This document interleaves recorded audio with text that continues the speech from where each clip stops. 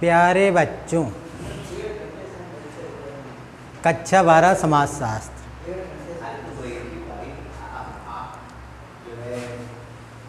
खंड आ से दूसरा अध्याय, भारतीय समाज की जनसांख्यिकीय संरचना। जनसांख्यिकीय संरचना, यानी जनसंख्या का आकार। इसको अंग्रेज़ी में डीमोग्राफी भी कहा कहा गया है। तो जनसांख्यिकीय संरचना क्या है? आइए इसके बारे में देखते हैं। तो देखिए, जनसांख्यिकीय संरचना का जो अंग्रेज़ी शब्द है डीमोग्राफी, यानी जननांकिकी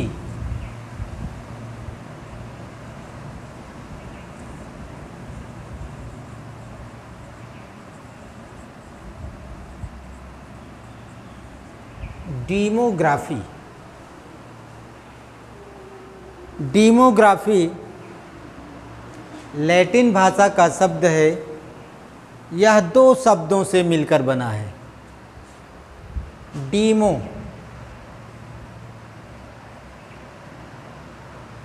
डीमो मतलब गणना।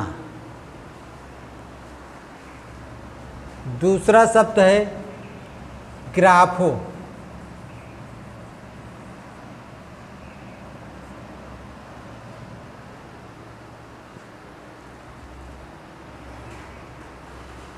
यानी डीमोग्राफो, जिसका तात्पर्य होता है टू ड्रा और राइट अबाउट पीपल यानी मनुष्य की गणना करना, उनका लेखा जोखा रखना। यहाँ अचिले गुलियार्ड ने 1855 में इस शब्द का आविष्कार किया। इसका टोटल मतलब जनसंख्या से है। यानी मनुष्यों का लेखा जोखा उनकी जनगणना, उनकी जनसंख्या खान पान और सब उनसे संबंधित उसी के अंतर्गत आती है। तो यहाँ एक चीज़ हम आपको बता दें। भारत में पहली जनगणना 1872 में लॉर्ड मेयो के शासनकाल से प्रारंभ हुई थी। लॉर्ड मेयो, जो भारत के गवर्नर जनरल रहे हैं, इन्हीं के शासनकाल से प्रारंभ हुई थी। उसके बाद सुव्यवस्थित जनगणना 1881 से प्रारंभ हो गई। जबकि भारत की सुनियोजित जनगणना 1951 से प्रारंभ हुई है। तब से लेकर के प्रत्येक 10 वर्ष के अंतराल पर जनसंख्या होती रही है। वर्तमान में 2021 पिछली जनगणना 2011 में हुई थी। नेक्स्ट जनगणना 2021 में होगी।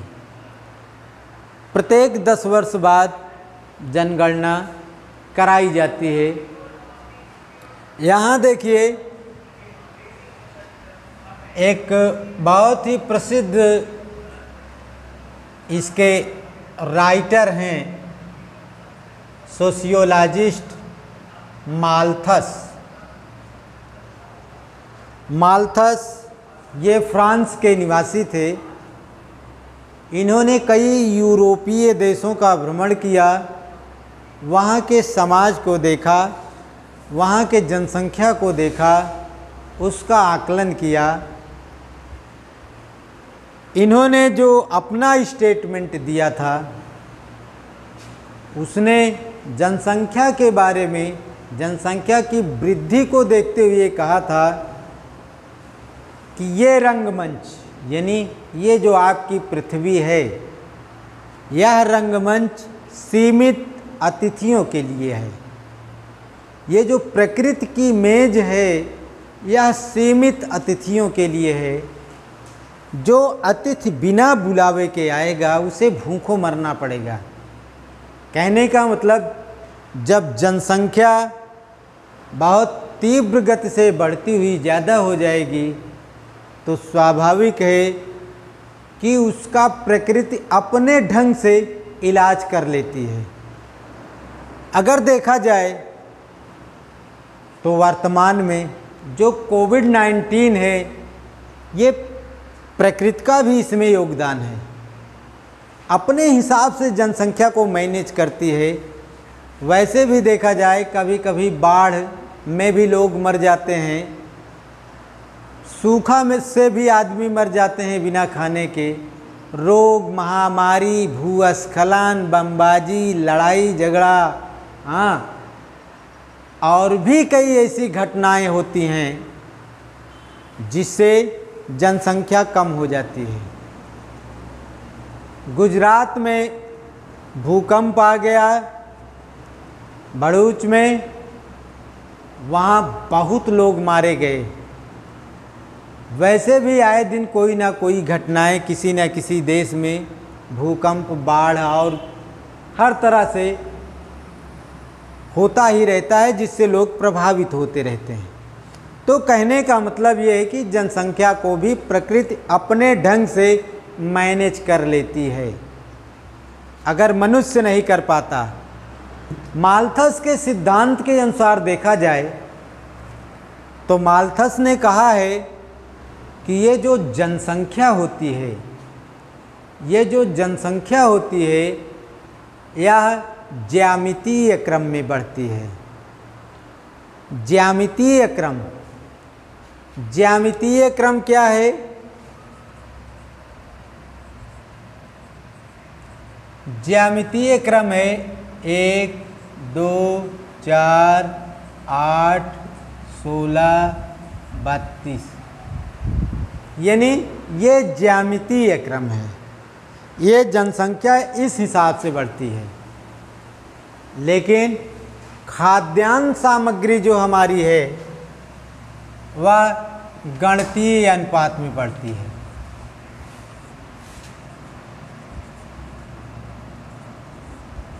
गणतीय अनुपात एक, दो, तीन, चार, पाँच।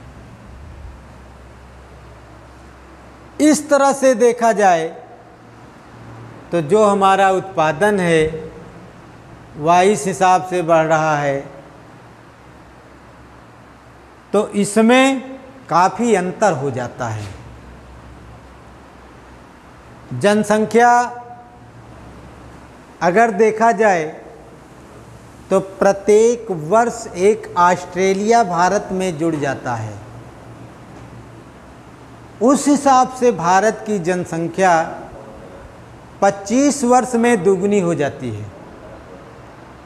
आज जो स्थिति है, वह जनसंख्या के मामले में हमारा दूसरा स्थान है। पहला स्थान चाइना का है। वास्तव में अगर देखा जाए, चाइना का क्षेत्रफल भारत से तीन गुना बड़ा है। चाइना का क्षेत्रफल भारत से तीन गुना बड़ा है। और जनसंख्या दोगुनी नहीं है कम है। यानी भारत से ज़्यादा है, वह नंबर एक पर है, भारत नंबर दो पर है जनसंख्या के मामले में। क्षेत्रफल में वो तीस, भारत तीसरे स्थान पर है। और अंतर्राष्ट्रीय स्तर पर देखा जाए तो भारत सातवें स्थान पर है। तो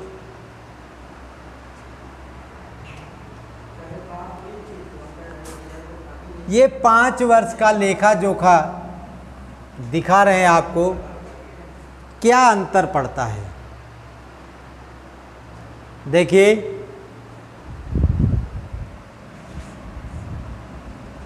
सोलह और पाँच बराबर ग्यारह, यानी जो जनसंख्या बढ़ रही है, वह यहाँ सोलह हो रहा है, जो हमारा उत्पादन बढ़ रहा है, वो पाँच है। दोनों में अंतर देखा जाए तो क्या है?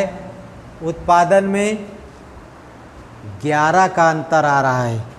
यानी जो कृषि उत्पादन है और जो जनसंख्या है, दोनों में कितना अंतर है? ग्यारह का।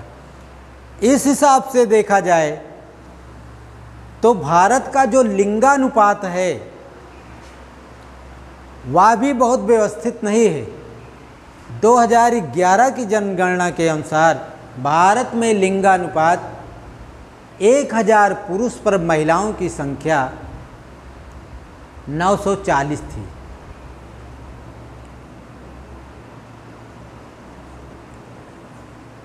इस हिसाब से जनसंख्या काफ़ी कम है।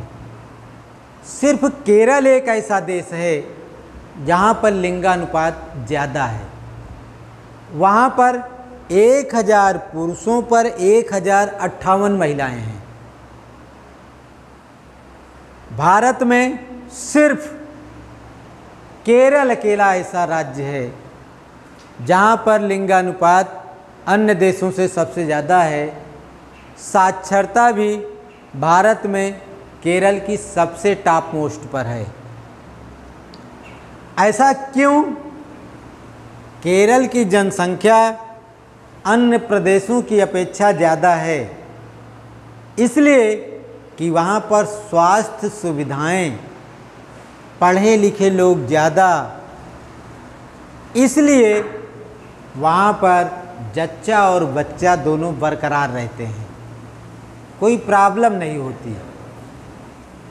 भारत में अन्य प्रदेशों की स्थिति देखा जाए, हरियाणा की स्थिति देखा जाए, पंजाब की स्थिति देखा जाए तो काफ़ी कम है। वर्तमान सरकार ने एक नारा दिया है, बेटी बचाओ, बेटी पढ़ाओ। क्यों? वहीं लिंगानुपात सुदृढ़ करने के लिए।